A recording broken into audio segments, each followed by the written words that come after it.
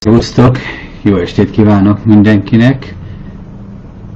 Már tapasztalom a felvételek visszanézésekkor, hogy csak később jelzi a számítógép számomra, hogy élőadásban vagyok már, ezért az elején mindig kis kukkaként nézek rátok, de most már a számítógép is azt mondja, hogy itt van mindenki, mármint hogy élőadásban vagyunk. Szeretettel köszöntök ma este is mindenkit különleges hét van mögöttünk, illetve különleges hetek vannak mögöttünk, és az ember úgy gondolja, hogy talán megnyugszik, majd csak lesz valami, hát július közepén is túl vagyunk, július nyár második felének első hetét járjuk, és akkor ilyenkor egyébként a médiában ilyen szokásos dolog szokott lenni, hogy reggeli Dunapartról vagy Balatonról adunk adás, vagy adnak adást, filmeken, régi filmeket játszanak, a hírekbe pedig azzal kezdik, hogy hát most ilyen kis színeseket mondunk el majd mindenkinek, mert úgymond hírszünet van, tehát ugye pauza van, nyaral mindenki, Hát azt hiszem, hogy ez a nyarunk ez nem ilyen. Remélem, hogy önök közül, titek közületek is nagyon sokan nyaralnak, és élvezik a nyarat, és ez fontos is, mert bármilyen sok probléma vesz minket közül, két dolgot lehet igazán elrontani. Az egyik az, ha nem törődünk vele. Tehát mindenről azt mondjuk, hogy engem nem érdekel a politika, nem érdekelnek a mindennapok, és lesöpröm a vállamról a dolgokat, majd lesz, ahogy lesz, az élet majd valamilyen módon megoldja. Nincs így az élet azt oldja meg, amit mi megoldunk. Tehát a szészben. A másik hiba, hogy csak a problémával foglalkozunk, ha nem veszük észre a szépet, a jót. Nem lehet. A problémát érteni kell, a probléma kapcsán arra időt kell kicsit fordítani, hogy megértsük, és keressünk rá magunknak megoldásokat, de észre kell venni a gyerekeinket, az unokáinkat, a szeretteinket, a párjainkat, eh, és velük szép órákat hosszú-hosszú szép órákat kell eltölteni. E, valahogy mostanában annyi mindenre tanítanak meg az unokáim. Amikor a egyik unokám úgy hív, hogy az én papám, és így mutat be a környezetembe, elgyök vásárolva, elolvadtam. A másik unokám pár perccel ezelőtt ment el, ment haza, és mondta e, nekem, hogy mennem kell, mert ugye fagyit fognak enni, de nem úgy mondta, hogy azért, mert már fagyit akarok enni, hanem húzta az édesanyját, a kislányomat, és mondta nekem, hogy de papa, nagyon fogsz hiányozni. Nem szabad az életnek ezeket a szépét kiadni, csak azért, mert mondjuk Magyarországnak egy gazember kormánya van, nem azért, mert sévek, nem lehet ezt elengedni, csak azért, mert a világnak van egy őrült, pszichopata, Putyin elnöke hatalommániával, beszűkülten, egyébként félelemben élve, mindennek körülvéve magát, és ez az egész világra óriási problémákat hoz. De sem Orbán Viktornak nem kell átengednünk, nem kell átengednünk a dolgainkat, és nem szabad, nem, a mindennapjainkat, nem az övé, az a miénk, és Putyin elnöknek sem szabad átengedni, ugyanakkor sajnos nem söpörhetjük le. Tehát ez a kettőség jellemzi az embereket, de én azért azt szoktam mondani, hogy ne hallgassd egész nap a híreket, mert beleőrülsz. De naponta egyszer hallgassd meg ha lehet, akkor ne a közszolgálati televíziót, azt mondjuk havonta egyszer, hogy azt is lát, hogy ott milyen galád és aljas dolgok történnek a közszolgálati rádióban, a közszolgálati televízióban, de azért azt ne többször, mint havonta egyszerre, az is olyan szívinfarktus közelít, tehát ha valakinek a vérnyomásával, egyébben van egy kis problémája, akkor lehetőség szerint azt, azt akár azt a havit egyszerít, azt hagyja is ki. De nem teheted meg, tehát nem lehet megtenni, hogy hogy nem foglalkozunk, ha nem nézzük a mindennapjainkat, mert bizony családok, magyar családok százezreire vár a biztos sőd, erről ma este beszélünk kell. Szerintem bőven elég, a csütörtök esténként találkoztok velem, én elmondom, és egy picit megpróbálom azért ezt úgy is csomagolni, hogy benne egy kicsit az, hogy egyébként nem vagyunk teljesen védtelenek. Tehát volna mit tenni. A mai adásban ez különösen többször fog elhangozni tőlem, hogy a helyzet az rajtunk is múlik. nagyon nagy része, nagyon sokakon nem, sőt a legvégtelenebbekkel múlik legkevésbé. Ez egyébként az Orbáni kormányzat legnagyobb bajassága, hogy pont a legvégtelenebb kör. De hát ez van. Ha nem tudja az uniós pénzeket ellopni, akkor az embereket kell lefosztania, mert a pénzészsége az csak nő ez folyamatosan nő, olyan, mintha már 250 kilós lenne, e, és utána hát egyébként szépen gyarapodik is, de ezt most e, félreteszem, de a 250 kilós ember is enni akar. Igaz, már nem tud kimenni a lakásból, de nő. Tehát az éjsége a lopásra nő. És hát akkor honnan lopjak? Hát először ugye azokban a lakásokba törnek be a betörők, amelyekkel látják, hogy nincs riasztó, meg nincs ott harapós kutya. Tehát azért azt keresi, aki a legvédtelenebb.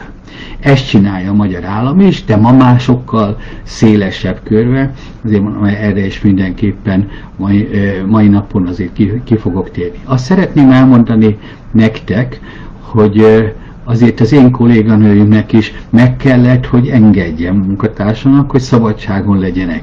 Ezért ma nincs moderálási segítségem, nekem kell néznem a kérdéseiteket, nekem kell arra figyelnem. Utólag egyébként mindig meg szoktam nézni a, a moderálás előtti változatot is, amelyben szeretettel és jó érzéssel látom, hogyha mondjuk az adás alatt 70 hozzászólás van, akkor abból azért olyan 60 arról szól, hogy sziasztok, itt vagyok, szép napot mindenkinek, finom pihenés, jó nyaralás, köszönjük János, stb. stb. Ez most nekem nem segít kivételesen nem segít, mert akkor nem találom meg a, a kérdéseiteket, ezért ma kérem, hogy különösen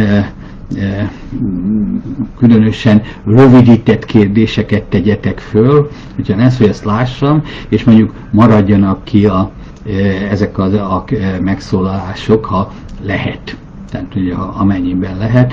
Láttam, hogy a szép napokból már van, vagy 5-6 szép napot mindenkinek, de egyesével, de de úgy láttam, hogy majd Évánál már megjelent az első kérdés is, hogy passzivitásban saját miniszteri fizetésének extra emelésében szinte egy időben eh, teszi meg a kormány az intézkedéseit, Évának nagyon igaza van.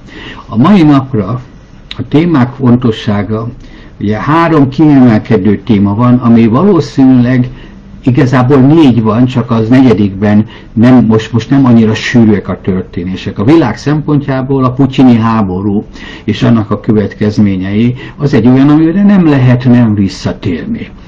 Ezért én is megteszem, csak mostanában egy kicsit talán kevesebb szer vagy ritkábban.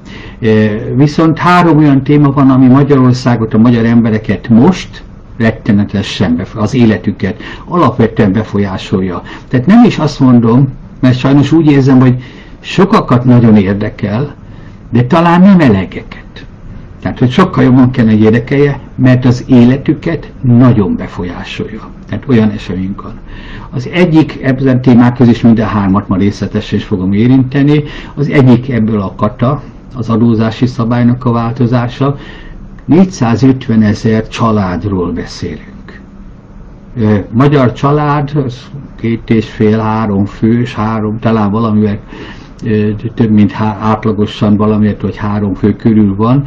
Ez azt jelenti, hogy már minden hatodikat érinti, és drasztikusan és rettenetesen ami valamennyiünket érint, csak legfeljebb megoldással, tehát megoldással mondjuk a NER lovagok számára nem érz, érinti őket, de nem érzékelhető, mert lopunk eleget ahhoz, hogy a rezsi e, árai növekedése ne, annyira ne zavarjon, meg Orbán Viktor azért arra is vigyáz, hogy nem mindenre terjessze ki, tehát például az extra profit adó, ott, ahol már megszerezték a piac döntő többségi részét, építőiparban, stb., ott, ott arra nem vetettük ki, ellenben a veszteséges légitársaságokra eh, kivetette, ami érdekes közgazdasági fogalom lenne, ha volna Orbán Viktor van, és a környezetében bárki is, akinek van közgazdasági értékrendje, vagy érzéke. Talán visszavonom, és azt mondom, hogy valamilyen szinte Matolcsiban van, ennél sokkal felkészültenek tartom Varga Mihályt, de sajnos feladták a közgazdász tudásukat, kiszolgálják azt a, azt a rendszert, én ezt rettenetesen sajnálom, de a gazdasági miniszterünkben és a többiekben tényleg semmi nincs, és hát az minden napjainkat foglalkozó például nagy témát rezsicsökkentésben német Szilárdnak, hát tényleg ott valahol az IQ 20 tájékán jár, ez minden megszólalásából tökéletesen látszik, ennek is felel meg, hát őnál ez egészen biztosan hiányzik. Tehát mindenképpen a katáról az rezsicsökkentésről, és vissza fogok mindig térni, vagy szokta térni, hogy milyen veszély fenyegeti a magyar államot azáltal, hogy az Egyesült Államok pénzügyminisztériuma két-három héttel ezelőtt kiadta azt a piros kártyát, amelyben rámutatott, hogy akinek úgy gondolja, hogy útjában áll Orbán Viktor bűnszövetkezete, az az Egyesült Államoktól zöld kártyát kapott, és ez a zöld kártyát saját magának is, zöld utat, elnézést, zöld utat kapott, ezt magának is megadta, és meg is fogja lépni. És úgy láttam, hogy ezt az Orbáni kormány még mindig nem érti, de hát majd jönnek a következmények, és akkor ebben esetleg. Azért a hétnek, hogy egy kicsit valami, valamivel kínunkban nevessünk, tehát az igazság az persze, hogy kínunkban nevetünk,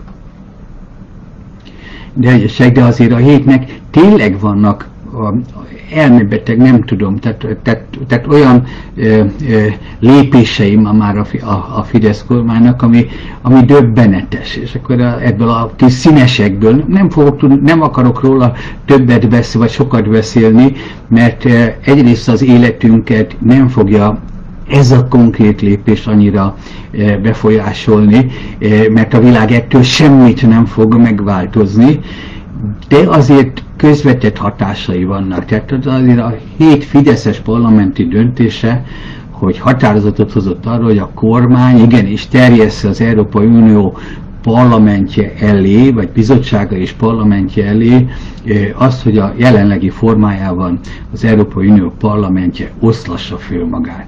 Tehát egy több mint 500 milliós Európában egy 9,5 eh, milliós Magyarországnak egy egyébként jó patai és valószínűleg már elmében egy kicsit zavarodott vezetői által úgy gondolják, hogy úgy tudom föltüzelni az én saját eh, híveimet, Ugye, úgy tudom föltüzelni, hogy a parlamentben hozok egy határozatot, de arról, amire semmilyen befolyásom nincsen, és semmilyen esélye nincsen. Tehát hiszében egyetlen valamire azért jó, hiszében az, hogy egyre kevesebben vannak az Európai Unió parlamentjében, és az Európai Unió nem, hogy mondják ezt, csoportjaiban, tehát unió csoportjaiban egyre kevesebben vannak olyan belső képviselők, amelyek azért visszafogottan mondják, hogy nem vállalható föl Orbán Viktor, de vannak jó lépései. Ma már nincs ilyen. Tehát nem, biztos van még néhány ilyen képviselője, de borzasztóan kevés. Tehát azt kell látni, hogy tényleg borzasztóan kevés, eh, mert eh, mert Orbán Viktornak a lépései egyre vállalhatatlanabbak. Nem véletlenül szólalnak meg most már nagy tekintélyű európai politikusok arról, hogy Orbán Viktor elszigetelődött. Ugye Franciaország és Németország az Unió két olyan politikai és gazdasági hatalma, ami azért a legnagyobb befolyással rendelkezik részében. Ezt most azért említem, mert, mert Németországnak a vezetőlapja olyan, mint a, valamikor a Népszabadság volt Magyarországon, de tehát amit olvasnak az emberek, még akkor is, hogyha a kormánya szimpatizálnak, és akkor is, ha nem szimpatizálnak, mert a legnagyobb hálózattal, a legnagyobb felkészült szakújságírókkal rendelkező hírközpontját, nevezje a Divelt, annak az egyik vezető szerkesztőjének megjelent az elemzése, tehát, és ezt ugye a Divert le is hozta, hogy elindult, talán elindult Orbán Viktor hatalmának vagy gondolkodásmódjának a vége.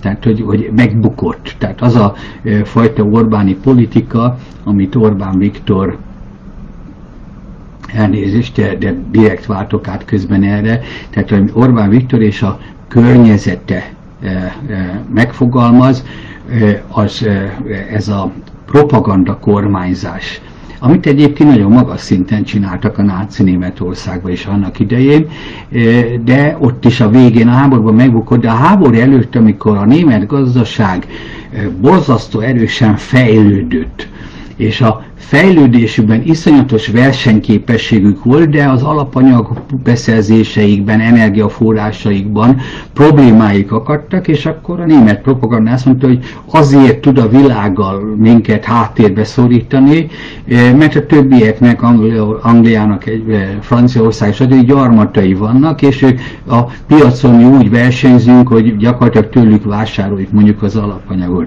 És ezt megetették a néppel, hogy ezt megteheti, hogy a hogy a világ a, a mi problémáinknak, vagy a további fejlődésünknek az akadálya. Orbán Viktor megszerezte a média hatalmat, kizárólagosságot, mert azt kell mondanom, hogy az a média felület, ami ma nem Orbán Viktor ellenőrzése alatt van, az olyan kicsi, tehát az annyira százalék, hogy a, a befolyásoltság szempontjából azt lehet mondani, hogy nincs. Tehát, hogy nyugodtan lehet. Ez olyan szoktam, egy statisztikában, szóval mondani, hogy ha 4% eh, alatt van valaminek a, a, a, a vitathatósága, akkor azt mondják, hogy ez már nem számít. A 4%-os eltérés az egy hiba határ. Tehát ott nyugodtan mondható, hogy az, az van, ami a 96%. A média felület fölötti kizárólagos hatalom Magyarországon, a nemzeti médiánk feletti kizárólag, ha ott van Orbán Viktor kezében. De erre ő épített is, és elhitette az emberekkel, hogy például az Európai Unió állampolgárainak a befizetés fizetéseiből, adóiból, az a hihetetlen pénzmennyiség, ami érkezett Magyarországra, és Magyarországnak egy növekedési pályát engedett, tett lehetővé. Annélkül nem növekedtünk volna, de tett lehetővé. Annak ellopta a kétharmadát, de az egyharmadával még mindig növekedtünk, és elhitette a világa, elhitette a Magyarországon, hogy az jár nekünk. Szijjártó Péter, mikor ezt 18-szor, 57-szer, vagy Orbán Viktortól 57-szer, századszor hallom, hogy azért, mert megnyitottuk a piacunkat. A Nyugat-Európa, az 500, több mint 500 milliós nyugat-európai piacnál előtt megnyitottuk a mi 10 milliós piacunkat, ezért jár nekünk ez a pénz. Képzeljék el, hogy ha a mondatot folytatom, hogy cserébe megnyitották előttünk a 490 milliós piacot.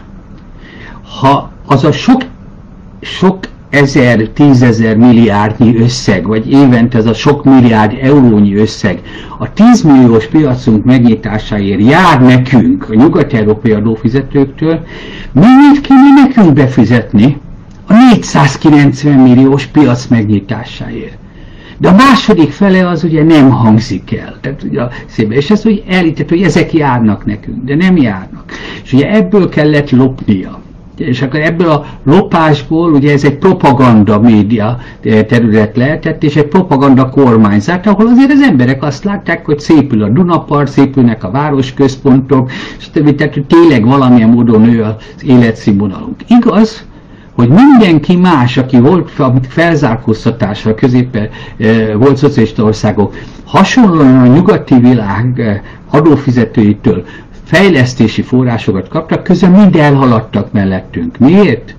Mert kevesebbet loptak. Azért ne higgyék, hogy Romániában nem loptak, ne higgyék, hogy Szlovákiában nem loptak, vagy Csehországban nem loptak, vagy Lengyelországban nem loptak, de töredékét, tehát összehasonlíthatatlanul kevesebbet mint az Orbáni NER eh, NER lovak hálózat, meg az alatta lévő hűbérrendszerben, eh, eh, hűbérrendszerben kiosztott pénz. De nem jön a pénz. És miután nem jön a pénz, ezért ez a propaganda gépezet el fog kezdeni összeomlani, mert kénytelen elvenni az emberektől. Az elején elvesz a multinacionális cégektől, abban reményked, vagy nem vonulnak, majd kire kivonulnak Utána azt mondja, hogy, hol vannak, hogy, hát a legsebezhetőktől elveszek majd elveszek valamit, mondjuk folyamatosan csökkentem a nyugdíjaknak a vásárlóerejét, rettenetesen csökkentem a nyugdíjak vásárlóerejét, közalkalmazotti viszonyokból adódóan nem tudnak a rendőrök mit csinálni, a tanárok mit csinálni, a szakdolgozók az egészségügyben, ő nekik folyamatosan reál jövedelem csökkenésük van, tehát elvanok tőlük, elvanok azoktól, akik a legkiszolgáltatottabbak. De a csökkentéssel eljött oda, hogy most már nem csak őtőlük vonuk el. És ez a rendszert, ezt előbb-utóbb mindenki megérzi, és azt írja a Divelt, hogy elindultak Orbáni propaganda, az bedőlt, ugye a propaganda eh, kormányzása, valódi kormányzási képessége Orbán Viktornak és csapatának szakmai tudás hiányába sincsen, de a bűnszövetkezet érdekrendszerébe adódóan is ez, ez eh, viszonylag nem tud működni, tehát ez alapvetően nem tud működni. Ezért az a kérdés, hogy mikor fog becsődölni ez a rendszer a néptől, a társadalomtól. És ezt fejtegetik, hogy vajon meddig tart ki a társadalom Orbán Viktor mellett, mert a propagandája gépezete átláthatóvá válik. A mindennapjainkkal egyértelműen szembe megy és az emberek felismerik, és ha mondjuk nem tudják kifizetni a fűtésszámlát, akkor, és a villanyszámlát sem, esetleg a nyugdíjasoktól elveszik a lakásukat, hogy nem tudják kifizetni, akkor ebből felkeresnek. És ennek cseréjében csinálja Orbán Viktor és csapatajsza elmebetegséget, hogy de azért én erőt mutatok, tartsák tőlem, mert én még az Európai Unió parlamentjére is tehetek javaslatot, hogy oszlassák föl, de nem fogják.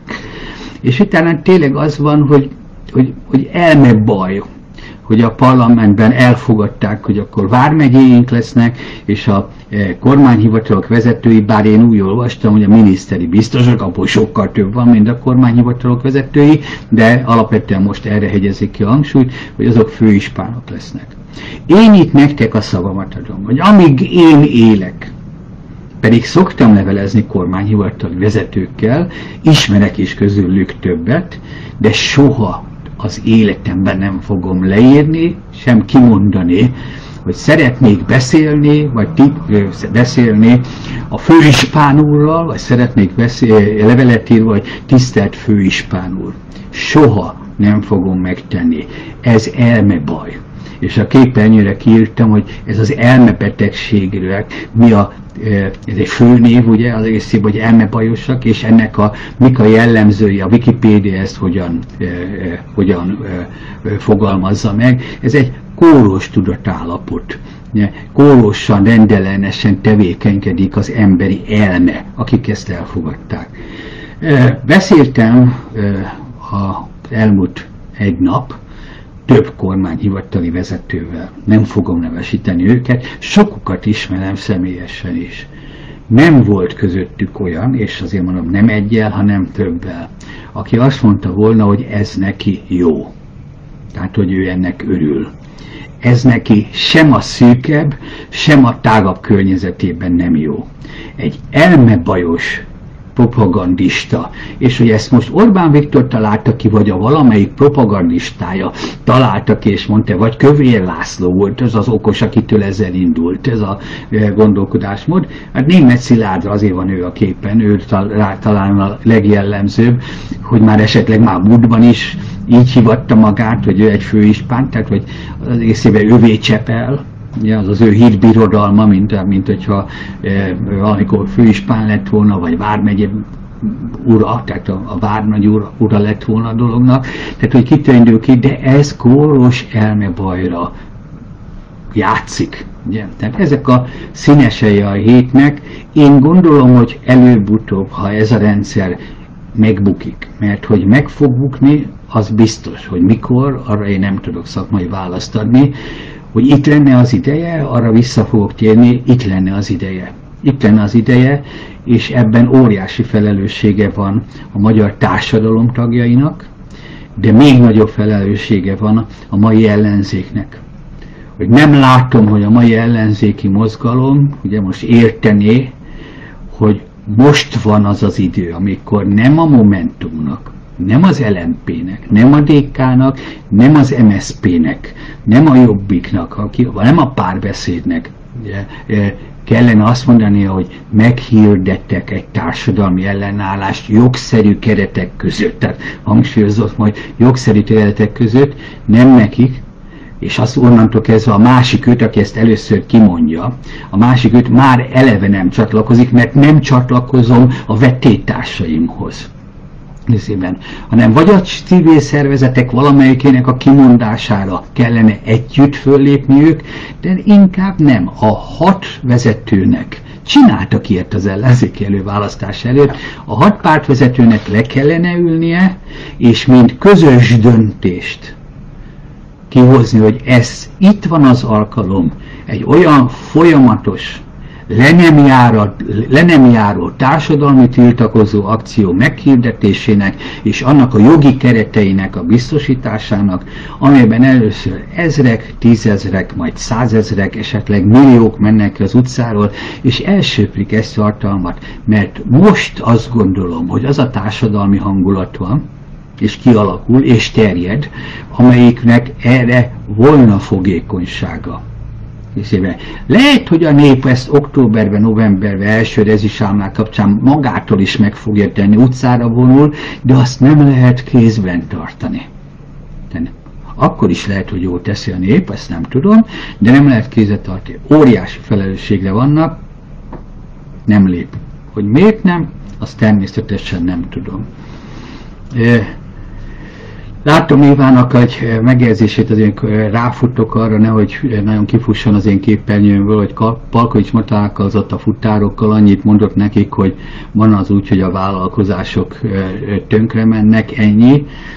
Hát Palkovicstól több is kitellett volna részében, de a személyiségéhez egyébként, ha tényleg ezt mondta, szeretném hozzátenni, hogy nem tudom, ugye ez itt élőbe föltett kérdésnek nem tudok utána járni, teljesen nem lehet tőle idegen, de hát ez egy döbbenet, majd valamit fogok még beszélni az egykori taxis blokádról is, ott egy borzasztóan szimpatikus miniszter volt, egy nagyon rendes ember, csak a társadalompolitika volt. Siklós Csabától távol, ő volt a akkor azt hiszem a közlekedési és gazdasági miniszter valahogy így hívták a, a stábját. Ugye a részében, akihez a taxisok akkor elmentek, és azt, akkor azt mondta, hogy itt a rendszerváltás után nem gondolják, hogy maguk miatt a kormány össze fog ülni, és megnézzék, hogy, és hogy megnézzék, hogy mit lehet tenni a taxisok érdekében. Kimentek, elmondták, hogy hogy, járt a tár, hogy volt a tárgyalás, majd tédre kényszerült három nap múlva a magyar kormány.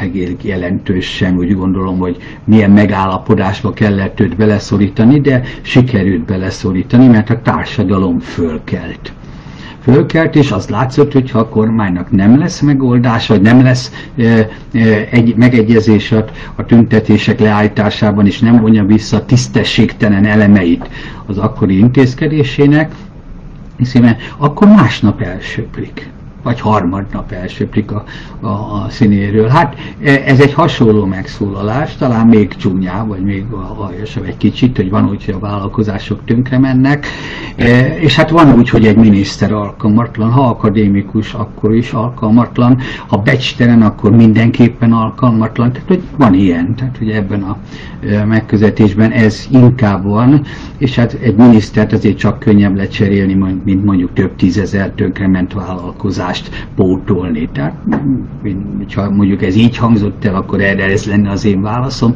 E, azért remélem, hogy ebben van némi kis, e, e, némi, némi kis túlzás is. De meglátjuk, tehát nem, nem éve, egy pillanatig sem kétkedem Évában. Azt mondja, hogy Iski Klára írja, hogy köszönöm, hogy felvállalta, hogy tanítja a magyarokat, nagyon sok összefüggés tisztázódik el által kérdés nem volt benne, a leírás az megtisztelő számomra. Nyilván Éva is írja, hogy nem, nem államcsődöt szeretné, de hát arról majd beszélgetni fogok, hogy de oda megy, hogyha ez a folyamat így zajlik, de sajnos most ez ebben az időszakban, majd azért ezt részletesebben kifejtem, a magánemberek csődje az rövid távú, a magyar államcsőd az egy kicsit hosszabb távú, és magánemberek sokaságának a csődje és esetleg, hogyha az nem hoz társadalmi váltást, az vezethet majd államcsődhöz, meg a nemzetközi környezetünk. Mit gondolok az egészségügyről? Újban megjelent a Covid, vonul-e a Covid, szeretném a, mai, mai részéből ezt egy picit ezt a témát kivenni, ahogy a másik háromra jobban maradjon idő. A Covid jármány kezelése az közeledik. Tehát azt úgy érzem, hogy egyre jobb megoldások vannak, egyre jobban influenza tulajdonság lesz belőle. Ettől még az én határozott véleményem az az, az hogy kellene lépni. Tehát az embereknek nem kéne bezárni, ezt nem. De olyan propagandát tenni, egy értség meg, tehát, hogy a, a társadalmat nem csak hülyíteni lehet, hanem tanítani is. Az Egyesült Államokban ma cigarettázni, ugyanannyi fiatal cigarettázott régen, szégyen. Társadalom már szégyellik, mert annyira elment annak a központi társadalmi propagandája, hogy az egy gyengeség jele, hogyha abban vagy, ha egy környezetben füstölsz, ahol gyerekek is vannak, meg bárhol rágyújtasz, ahol más is van, tehát ez már szégyen kategóriát tartani. Meg lehet tanítani az embereket is, na erre persze természetesen Orbán Viktor és csapata alka, egyrészt szakmailag is alkalmatlan, meg a pénzt sem adja oda. Tehát nem fordítja rá a hazugságait a százmilliárdokért ter, terjeszti, de arra, hogy arra mutasson rá, hogy hogyan tudjuk védeni az embertársainkat, meg magunkat, hogy a Covid járvány eh, számunkra még a te, kevesebb kockázatot jelentsen, hát arra egészen, eh, egészen biztosan nem. Eh, Dudlik János kérdezés, de utána rátérek a fő témáinkra, vagy a témákra azért, hogy Orbán helyett milyen alternatíva létezik. Most kisebb tömörebb változatot mondok, mint amiről majd beszélni fogok, de a tömör magyar mondásokban higgyétek el, hogy óriási, eh, óriási nagy a, a, a tartalom, tehát hogyha az ember átgondolja. Orbán Viktor helyett kit tudok? Bárkit. Bárkit szoktam mondani, a sarki újságárus, ha az egy tisztességes ember, a virágárus, az, ha ez egy tisztességes ember, ugye ezt lehet látni, hogyha szépen szolgál ki, a szép virágcsokrot csinál, ha udvariasan és mosolyogva kínálja az újságot, ugye, mert ha tisztességes, akkor majd tudja, hogy mit nem tud, és ahhoz segítséget von magához. Tehát nem egy mi hazánk mozgalmat, amelyik a e, e, gazemberek sorában talán a második vonalban van, csak éppen nincs hatalmi befolyása. Nyilván nem ő. E, az ellenzék egy nulla, ebben is van egy olyan összefoglalás, hogy azért ez így nem igaz, de egyességek az ellenzék is, így az előbb is kritizáltam, hogy, hogy nem érti, hogy mikor és mit kellene tennie, túl sokat foglalkozik saját magával a társadalom helyett, de Orbán Viktor és csapatánál biztos, hogy nagyságrendel jobb. Tehát egészében, és talán őket még lehet valamilyen módon tanítani is, hogy a társadalom vagy nemzetközi bef- pozitív irányban befolyásolni. Tehát én az, erre az a rövid válasz, hogy bárki, tehát Orbán Viktor eh, cseréjére bárki alkalmas, még a saját stábjában is, hogy lejjebb vannak, ugye azért ez a fejtőzik, aki alatta vannak, az emberek vannak, de azok is jobbak rány, de nem úgy gondolom, hogy a Fidesz vezérkarából, vagy nerlovagjaiból kellene Orbán Viktort lecserélni, de gyakorlatilag mondat úgy hangzik, hogy bárki jobb alternatíva, mint az, hogy Orbán Viktor itt marad a magyar társadalomnak a nyakán még hosszabb, rövidebb ideig. Remélem, hogy rövidebb ideig. Úgyhogy ebben a részében. Ugye itt ezt egy kicsit kinagyítom, ugye azért, hogy ez a kép, ezt nem bírtam nem megcsinálni nektek, a rezsicsökkentéshez tartozik hozzá, meg a katához is, ugye az egészében, hogy köszönjük nektek, ez ugye a választási győzelem után készült a Fidesz vezérkaráról, nézzetek rá, ott vannak a képen, és ugye az, hogy köszönjük nektek és szavaz, a szavazataitokat, ne féltsetek minket, nekünk nem fog fájni, csak ti mentek csődbe, és mi azon is nyerünk. Ez a rezsicsökkentés alatt, ez, a, ez általam mutatott képről. Nagyon sok mindent el fogok mondani, mert valóban így van. Majdnem minden ember járt már orvosnál, és ott, ott van egy ilyen mondás, az egy orvosi humor közé tartozik, amikor műtét előtt, vagy mint fogműtétnél, vagy bárminél, sok orvos barátom használja, akkor megkezdődtek, hogy de doktor, ez nekem fájni fog, és az válasz az, hogy fáj, vagy hogy ez nem fájni fog, és akkor az orvos azt mondja, nekem nem. Ez egy kicsit ennek a a bölcsességnek a rátövése, hogy igen, így viselkedik az Orbáni, eh, az Orbáni rendszer eh, egészében. Eh, beszélnünk kell, és beszélni akarok, most rátérnék egy pillanatra a kata rendszerére. Ugye itt ez egy fontos elem, a jogszabály életbe lépett. Novák Katalin aláírta a törvényt, tehát a szeptember 1-ével, ha addig nem lesznek változások, akkor az érvénybe fog lépni. Én nagyon sokat beszéltem nektek arról, hogy nagyon sokat beszéltem nektek arról, hogy Novák Katalin nem is az embersége miatt alkalmatlan köztársasági elnöknek, hanem a személyiségének. Nem, tehát én nem látok olyat, hogy ő különösen korrupt lenne, nem látok, ami, ami jellemző a Fidesz vezérkarra.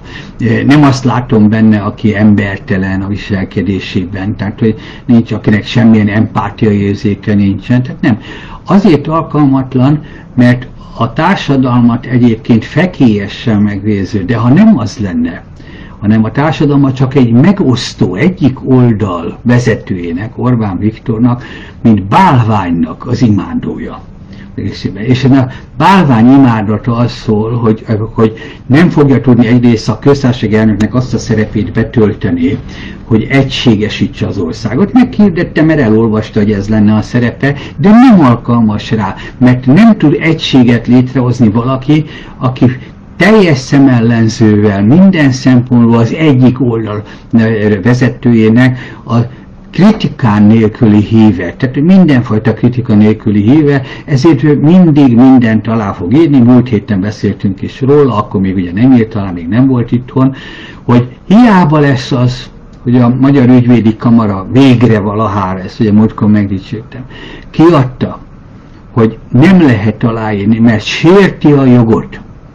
Tehát a magyar jogász társadalomnak a egyik legnagyobb konglomerátum, az vagy lehet, hogy a legnagyobb, mert a bírói kar a szűkebb. Tehát akik jogi végzettségű emberek, azok nagyon kevesen jogtudósá válnak, szélesebb körben vállalati jogászokká válnak, kicsit szűkebb körben bíróká válnak, és a legszélesebb körben ügyvédekké válnak. Ez a konglomerátum kiadta, hogy nem fér bele az alaptörvénybe, el kell küldeni az alkotmánybírósághoz. És Novák Katalin azt mondta, hogy nagyon sokat vívódtam rajta, de ne, beszéltem a kormány illetékeseivel, miniszterelnökkel, az egészében, és ők azt mondták nekem, hogy a részletszabályoknál megoldást fognak kínálni minden problémára. Tehát azt mondta, hogy nem tetszik neki, hogy társadalmi egyeztetés, stb. nélkül fogadták el ezt a törvényt, de megnyugtatták az illetékesek, hogy a részletszabályozások kidolgozásánál majd a fölvetődő ellentmondásokra megoldást fognak találni. Megígérték neki. Most azt kell mondanom, hogy Novák Katalin személyiségével összhangban van, de például a jogi csapata, ami őt körülveszi, a teljes alkalmatlanságát bizonyítja, de Novák Katalinnak, akinek ugye azért ez egy feladata egy törvény hatályba léptetéséhez, van jogi feladata részében. Ha azt nem érti a jogról, hogyha egy törvényt hozok, akkor a törvénynek nem lehet más szerepe, mint ki kell zárnia, hogy jogellenessé váljon. Tehát csak a részletszabályok azok részletszabályok. Ki kell zárnia azt a lehetőséget, hogy visszaérés. Tehát ha olvasott olyan felvetést a társadalomban, például a ügyvédi kamara leírásában, hogy ez elfogadása módjában, tartalmában, azt az felkészülés idejét tekintve, ez nem egyeztethető össze a joggal, akkor azt kell látni, hogy van-e benne elégséges felkészülési idő. És azt kell mondani, hogy szerinte a 6 hét, amennyivel előtte elfogadták, az elég. Csak mondok egy példát. De, nem az, hogy majd a részletszabályoknál. Ez így lesz mondva. Tehát ezt mondja, az azt jelenti, hogy ő is és a jogászapata is a jog legalapvetőbb ismereteinek a hiányában van, vagy az ember, aki azt mondja, hogy ez nem érdekes, ugye? de nem, nem, azt gondolom, hogy a hiányában van, ezt mondjuk Novák Katalinnál fölte. Teljesen alkalmatlan arra a szerepre, amire most a Fideszes többség. De valószínűleg Orbán Viktor ezért is nevezte ki az ország államfőjét, döntött úgy, hogy ő legyen az, mert nem lesz vele problémája. Bármilyen gazságot alá fog írni, mert nem tudja, hogy gazságot ír alá. Nem véletlen mellette a hölgy, aki ott van, mert az ő esetében, akit egyébként szintén személyesen ismerek, majd kíváncsi vagyok, hogy felismerik-e az arcát, annyit elárulok, hogy Gabriellának hívják, ugye, hogy 90-es parlament óta a Fidesz parlamenti képviselője, és ő is adta az arcát valamihez, ami akkor, ugye a Novák Katalin most adta az arcát ígérgetésben a a katához 450 ezer családot érint, ő pedig adta, na mihez, akinek esetleg eszébe fog jutni, vagy föltűnik a hölgy, ugye ma, ma is képviselő, tehát parlamenti képviselő, teljes odadással képviselte a magányugdíjakból 3000 milliárd a több millió magyar állampolgár megtakarításából az enstandolását. Mikor elvette az Orbán kormányt, emlékeim szerint 2010 2002-ben elvette, és folyamatosan képviselte, és mondta a parlamentben mindenhol, hogy nem érti az ellenállást, hiszen az állam kezében biztonságosabb lesz a mi 3000 milliárdunk, mert különböző prémiumokra, stb. a magányugdíj pénztáraknál túl sok pénzt fizetnek ki. Tehát, hogy semmi más nem történik, mint hogy e, a kormány ki fogja alakítani az egyedi, egyéni számlákat, és oda áthelyezi azt a 3000 milliárdot mindenkinek a megtakarítását a saját egyéni számlájára. Ugye, folyamatosan ez volt az előadása, és ezt mondta, annyira, hogyha nem is a teljes, de a többségét az alkotmánybíróságnak is sikerült meggyőznie, meg az alkotmánybíróság is azt mondta, hogy ugyan az lett volna szerencsés, ha megvan az állam létrehozza az egyéni nyugdíj, eh, nyugdíjszámlákat, és mindenkinek a pénzét a saját állami felügyelet lévő nyugdíj eh, transferálják át, tehát utalják át rögtön, ezt ugye jogilag így kellett volna megcsinálnia, és egy kormánynak ahhoz meg joga van, hogy úgy érezze, hogy nincs biztonság, vagy ilyen hosszú távú befektetés, megtakarítás, mint a magányugdíjpénztárot, hogyha az ment, nincs másik, tehát nem tudom újra kezdeni a, a pénzemnek a gyűjtését, ezért ez egy elfogadható kormányzati felfogás, és azt mondta, hogy de hát megígérte a kormány, és megígérte a kormány arcaként annak idején Gabriela, hogy lesz egyéni nyugdíj, egy, egyéni számlák, és oda lesz a pénztéve. Nem, ma már nincs, azóta sem történt meg az egyéni nyugdíjszámláknak a létrehozása. Effektíve ellopták, megfosztották a társadalmat, a társadalom több millió tagját 3000 milliárdról. Nem véletlenül működik a jog úgy. Tehát nem véletlenül működik a jog úgy, hogy hogy nem lehet ígérgetése tenni. A törvénynek egyértelműnek kell lenni. A törvénynek úgy kell szólnia. Mondjuk, ha már nem lett meg az egyéni nyugdíjszámla, akkor a törvénynek, az, e, amikor el is tanultam a három ezer, meg úgy kellett volna szólnia, ez a határidő, és ha eddig a határidő a kormány nem teszi, akkor dupla pénzt kell oda tennie, eddig akkor háromszor annyi pénzt, tehát szankcióhoz kötni a dolgot, tehát valamit tennie kellett volna, mert hogy mert Ugye itt, itt mutatom az ügyvédi kamarának a figyelemfelhívását, ugye ezt a múlt héten beletettem, de hát akkor még abban reménykedtem, hogy talán ez, ez elég lesz a rendszeremben, tehát hogy elég lesz a szerez. Fontos képet szeretnék kitenni a következő előtt. De hát nem volt egy. Tehát a jog nem véletlenül mondja, hogy nincs, nem a törvényben a jogbiztonság elvének működnie kell.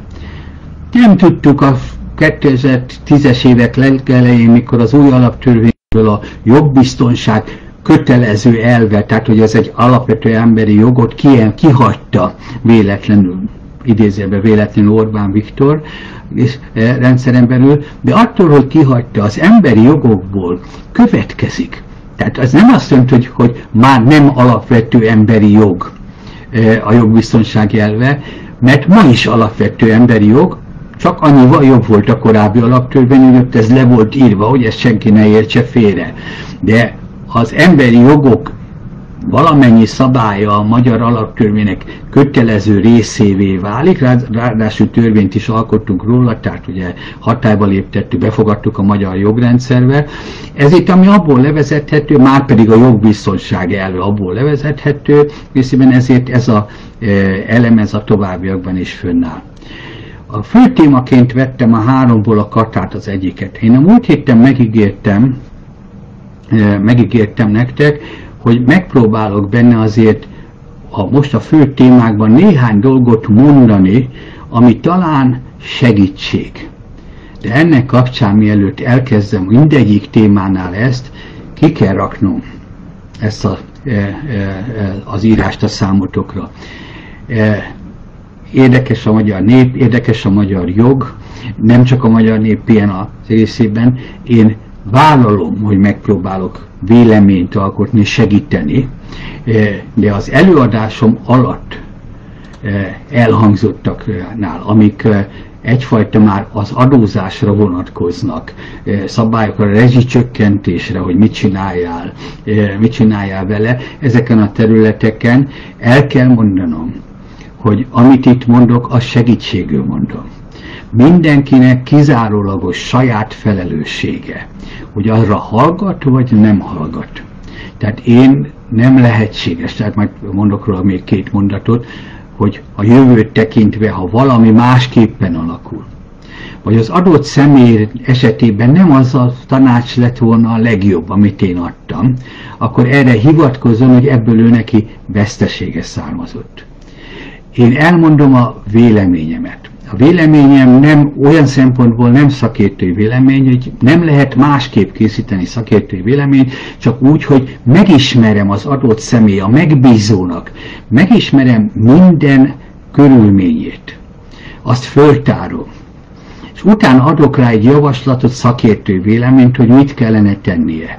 De még annak is odaírom a végére, a szakértő véleménynek a végére, hogy az illetőnél föltárt egyéni körülmények, ből, amit én megismerhettem, mert az egész életét nem ismerhettem meg, nem, nem is biztos, hogy megmutatott mindent. Azok alapján adtam ki a szakértői véleményemet. Mert oda kell tenni. E, ma, ha a Katáról beszélünk, 450 ezer vállalkozásról beszélünk. 450 ezer vállalkozásnak, a vállalkozójának más a tevékenysége, más az életkörülménye, más a pénzügyi helyzete, mások a megbízói. Tehát nem lehet azt mondani, hogy van egy olyan recept, amit ha csinálsz, akkor, akkor csinálod jól azt egyenként kellene megnézni. Nem lehet másképpen. Tehát ezt kell megérteni. Éppen ezért kell azt mondanom, hogy ha ezekben a csütörtöki adásokban én mondok valamit, hogy általános esetben, általános elfként, e, kiinduló pontként, hogy mit nézzél meg először, és utána nézd meg, hogy az jó-e rád, vagy rád vonatkozva nem jó, hanem más jó egészében, eh, ahhoz egy olyan mankót, egy olyan, hogy hol kezdjél el kutatgatni, keresgédni, ebben tudok egy élőadásban segíteni, anonim módon. Hogy több ezeren hallgattok, ebben a pillanatban 488-an mutatja nekem a rendszer részében. Nem ismerek közülöttök, hát valószínűleg egy pár embert, igen, de azoknak sem az összes körülményeit, nem tudom, hogy kik katások, mit, mit, mit szoktak számlázni, mi az a tevékenységet, amit végeznek. Úgyhogy ez egy nagyon fontos elem, és most rá fogok erre térni, de hogy értsétek meg, ez nem véletlen kiírás, és az, hogy magamat is természetesen ennek, ennek megfelelően védenem kell. És akkor most kirakom azt, amiről egy picit a katásoknak szeretnék beszélni, ez egy nagyon fontos. Én szeretem a dolgot a nevén vezetni. Döntő többségében itt nem a katának egy módosításáról van szó, hanem egy kivezetés első lépéséről, vagy a kivezetéséről. Itt is igaz az, hogy nagy valószínűséggel olyan kevés sem maradnak, tudnak bemaradni az eredeti szabályok szerint halzó nem fognak változtatni szeptember 1-ig, ha nem lesz mondjuk olyan nép társadalmi fellépés és szolidaritás a katások mellett, amely esetleg elzavarja az Orbáni kormányt, hogyha nem zavarja el, akkor arra kényszeríti, hogy a kataszabályokat szabályokon alapvetően változtasson részében, akkor, akkor ez a kivezetés irányába való lépés. Az első pont, el is olvasom, hogy ez egy hangos könyv is legyen, de azért ott van és tartósan ott, van, ott lesz nektek részében, hogy senki nem élt vissza a hata szabályozásával eddig sem.